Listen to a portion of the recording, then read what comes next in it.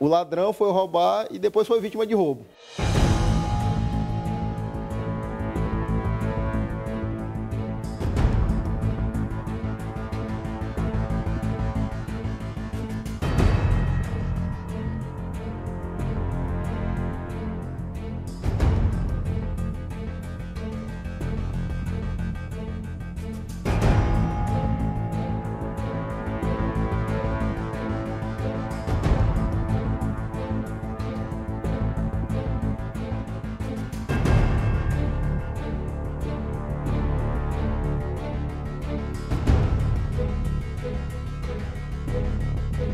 Após o assalto ali no bairro Coabinha, nossa equipe de reportagem já está aqui na delegacia regional de Bacabal, onde foi conduzida a motocicleta do suspeito de envolvimento no assalto, identificado aí como Eduardo. Mas o que chamou a atenção da equipes da Polícia Militar, inclusive do Esquadrão Águia, que foi a equipe da Polícia Militar que rapidamente chegou no local onde teria aí acontecido o assalto. Ah, quando a polícia chegou no local, é, o jovem identificado aí como Carlos Henrique já estava ferido e o, o assaltante identificado aí como Eduardo já tinha sido agarrado por, populares. Ah, houve disparo, segundo informações de populares, que o Eduardo teria efetuado disparo, então ele estaria com uma arma. Essa arma desapareceu. A polícia militar não conseguiu é, pegar essa arma, porque alguém roubou a arma do criminoso alguém também pode ter aí roubado também os aparelhos de celulares que estava também com o assaltante, Eduardo, além de uma quantia em dinheiro que também foi roubada no momento que o Eduardo foi agarrado. Eu vou conversar agora com o cabo Freire Neto, da, do Esquadrão Águia, que atendeu toda esta ocorrência, que fala com a gente a respeito dessa situação, onde o Eduardo praticou um assalto, foi roubar e acabou ainda sendo roubado, ferido e levado para o hospital. O mais grave é que alguém roubou o criminoso, levou a arma de fogo, levou os celulares e também levou o dinheiro. Vamos ouvir o que disse o cabo Freire Neto. Ok, o Esquadrão Águia foi informado via Copom sobre uma possível troca de tiro né, no bairro Coabinha e informado que havia vítimas. Né? O, o esquadrão deslocou é, em, em, em, urgência, né, certa urgência, porque uma situação dessa a gente não pode perder tempo.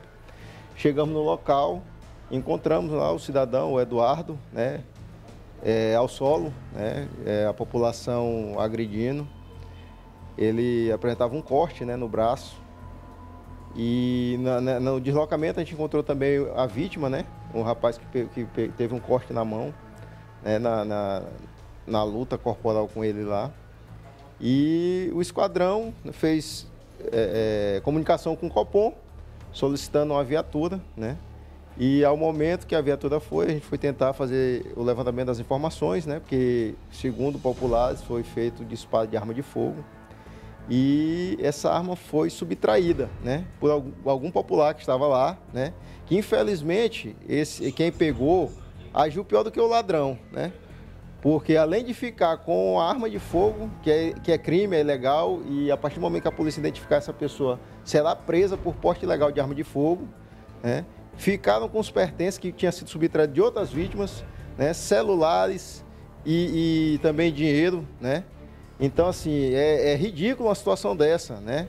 Onde algumas pessoas é, é, é se fazem de uma situação para ter vantagem, né? Uma, uma situação de, de, um crime, né? Aí ao agarrar o criminoso, ao invés de entregar tudo para a autoridade policial, não, fizeram o furto, né? o roubo, tanto da arma de fogo como dos celulares e dinheiro, né? Então, assim, fica o recado para quem cometeu esse crime, né?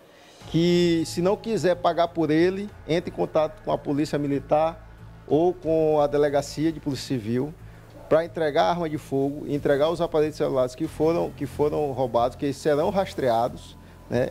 A Polícia Civil vai fazer o levantamento com câmeras do local, vai identificar, entendeu? E essa pessoa vai pagar, né? Infelizmente, algumas pessoas da sociedade cometem uma coisa até pior, né?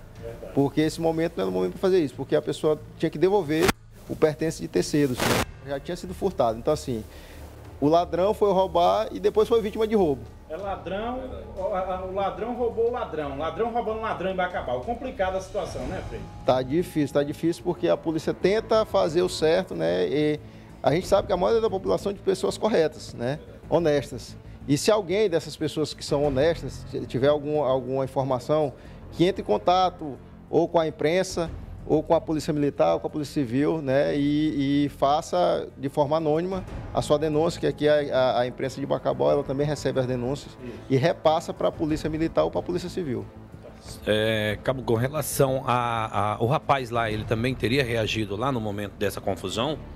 É, segundo informação de terceiros, é, ele reagiu né, no momento do assalto né? e, e foi atingido pelo um corte.